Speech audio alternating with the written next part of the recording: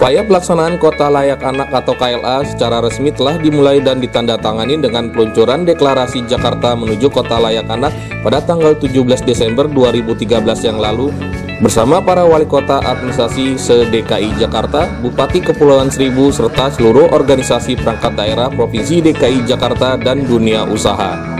Sejak saat itu, Pemkot Jakarta Timur menunjukkan komitmennya dalam upaya mewujudkan Jakarta Timur sebagai kota layak anak ujar Wali Kota Jakarta Timur M. Anwar saat membuka kegiatan penguatan kota layak anak di ruang pola kantor Wali Kota Jakarta Timur. Wali Kota mengatakan kedatangan Deputi Bidang Tumbuh Kembang Anak Kementerian Pemberdayaan Perempuan dan Perlindungan Anak Republik Indonesia guna mereview apa yang harus dibenahi ke depannya di Jakarta Timur agar mendapatkan predikat sebagai kota layak anak di tingkat nasional. Dirinya menjelaskan kota administrasi Jakarta Timur tahun lalu telah berhasil meraih prestasi tingkat madya dalam lomba kota layak anak. Jakarta Timur terus memperbaiki diri agar dapat meraih penghargaan yang lebih tinggi yaitu Nindya dan Utama. Hari ini kita alhamdulillah didatangi oleh Ibu Deputi dari Kementerian dalam rangka penyegaran kota layak anak. Tentunya tahun lalu kita mendapatkan predikat Madya. Nah, Madya ini kan kita paling tidak di, disoroti oleh wilayah lain. Apa sih keunggulan Jakarta Timur? Apa sih programnya? Apa yang telah dilakukan? Itu datang ibu ini kita akan mereview lagi kira-kira apa yang kita harus benahi ke depan seperti apa supaya benar-benar Jakarta Timur wajar mendapat predikat yang diberikan oleh nasional. Ada jelas dong, ada dua tingkatan lagi, Nindya sama Utama. Tentunya saya berharap bukan hanya lomba apa penilaian tapi betul-betul yang diberikan sesuai dengan fakta lapangan ya contohnya seluruh bayi yang ada di sini sudah memiliki akte kelahiran ya begitu lahir punya akte baik yang di panti ataupun di rumah-rumah yang kedua tidak ada pernikahan di bawah umur Jadi kita menekan angkanya semaksimal mungkin biar betul-betul apa yang dilakukan oleh program Kota Layak Anak ini memang layak diberikan pada Jakarta Timur. Tentunya teman-teman lurah camat sangat bersemangat sekali, termotivasi dengan sampaikan oleh ibu tadi, ya penyegaran kiat-kiat seperti ini harus kita lakukan apa yang kita harus lakukan kita harus membuat forum dan sebagainya harus melibatkan semua stakeholder yang ada di Jakarta Timur. Baik pengusahanya, masyarakatnya, komunitasnya semua kita ajak supaya kerja bersama, kerja guyup. Bukan kita pribadi tapi seluruhnya. Kita berdayakan masyarakat dan masyarakat mengerti. Kota ini apa, kita harus berbuat apa Ya, jadi uh, kami ke sini, saya sebagai Ketua Kabupaten Kota Layak Anak seluruh Indonesia uh, mengkoordinasikan proses ini di 516 kabupaten kota dan saat ini sudah tercakup di 415 kabupaten kota, salah satunya adalah di Jakarta Timur ini.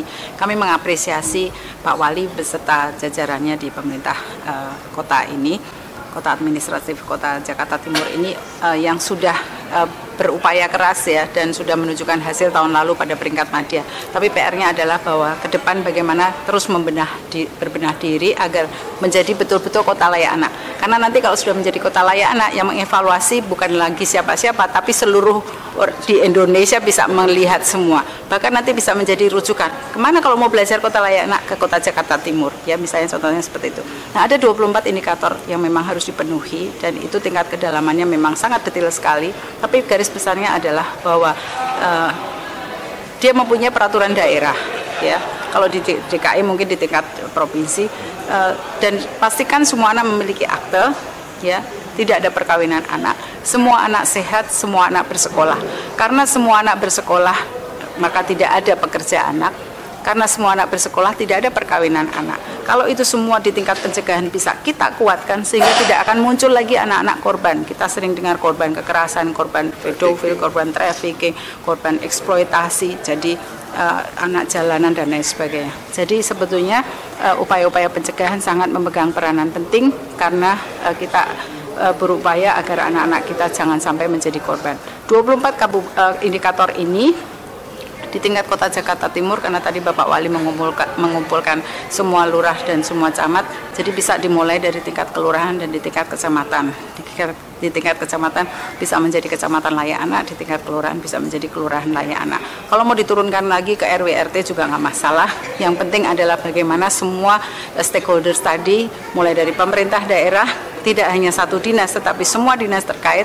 Terus kemudian yang kedua adalah dunia usaha, tidak hanya satu dua dunia usaha tetapi semua dunia usaha yang berdomisili di sini. Kemudian jangan lupa media karena media bagian dari mempromosikan hak-hak anak juga ya, termasuk uh, lembaga masyarakat kita bersatu padu semuanya memberikan yang terbaik untuk anak-anak di kota Jakarta Timur.